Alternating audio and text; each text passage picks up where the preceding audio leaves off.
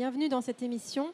Nous sommes en compagnie de Sandy Boudet, chargée de mission euh, au service approche sociale et travail en élevage à l'IDEL Institut de l'élevage, qui va nous parler donc du travail et de son organisation et de comment on peut mieux euh, prendre en compte cette variable au moment de l'installation notamment. Bonjour Sandy. Bonjour.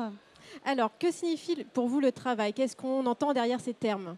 Alors à l'Institut de l'élevage, on travaille sur la problématique travail depuis de nombreuses années. Pour nous, c'est toutes les questions de conditions de travail, d'organisation du travail, de charge de travail. Et donc derrière ça, on s'intéresse aux questions du collectif. Euh, comment travailler en association avec des salariés, des apprentis, faire face au remplacement. Euh, quelle est la place de la délégation des tâches, euh, comment rationaliser aussi euh, les tâches sur une ferme, simplifier des, pratiques. et donc du coup, on sait très bien que cette problématique, elle est super importante et que quoi qu'il arrive, même si aujourd'hui l'automatisation prend de plus en plus de place, ça remplacera pas complètement l'homme. Pourquoi l'Institut de l'élevage travaille-t-il depuis plusieurs années sur la façon de mieux prendre en compte cette variable au moment de l'installation? Renouveler les générations en élevage, c'est un enjeu prioritaire pour les filières. On sait que 40 à 50% des chefs d'exploitation ont 50 ans ou plus et que c'est des personnes qu'il va falloir euh, remplacer. Les conditions de travail sont un des facteurs d'attractivité du métier. On sait que beaucoup de jeunes se lancent dans le métier un peu la tête dans le guidon, se sentent invincibles euh, et, du coup se rendent compte au bout de quelques années que l'équilibre vie pro, vie perso n'est pas simple, rencontrent des problèmes de santé, euh, doivent euh, se faire remplacer.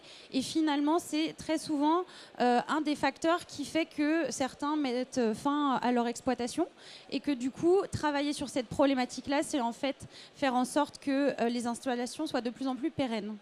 Et comment on peut faire justement pour mieux prendre en compte le travail dans les projets des jeunes éleveurs? Alors, on sait qu'il y a plusieurs étapes, euh, il y a plusieurs moments clés où on peut aborder ces questions-là. Donc, déjà en formation initiale, évidemment, euh, mais également lors du montage du projet du jeune.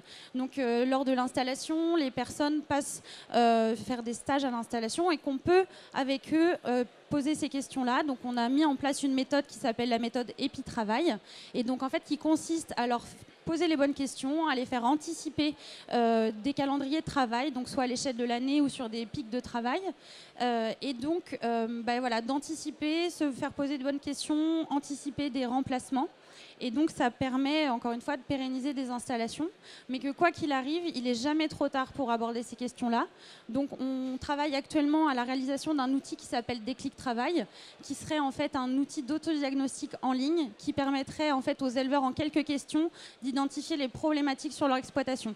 On leur permettrait d'accéder à des fiches qui permettraient de donner des pistes, des débuts de solutions. Et donc ça, c'est très important.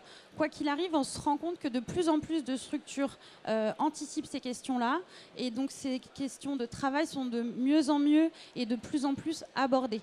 Et donc c'est indispensable. Et ça, ça passe par la communication. C'est un sujet qui a souvent été tabou et qu'aujourd'hui, euh, on retrouve... Euh, par exemple sur Devenir éleveur. Donc il y a un site qu'on a lancé il y a deux ans pour, pour les jeunes. Donc c'est un des, un des thèmes qu'on aborde avec eux, mais aussi sur les réseaux sociaux, on voit de plus en plus d'éleveurs qui parlent voilà, de leur nouvel aménagement, de, du fait qu'ils délèguent des tâches. Et voilà, ce genre de choses, c'est très important de, quelque sorte, démocratiser ce sujet. Et est-ce qu'il y a d'autres facteurs sur lesquels travailler euh, pour améliorer l'attractivité du métier d'éleveur? Alors, on dit que l'attractivité d'un métier repose sur trois facteurs. On a déjà abordé les questions de conditions d'exercice du métier. Donc, il y a les conditions de travail, mais il y a aussi tout ce qui est les questions de revenus.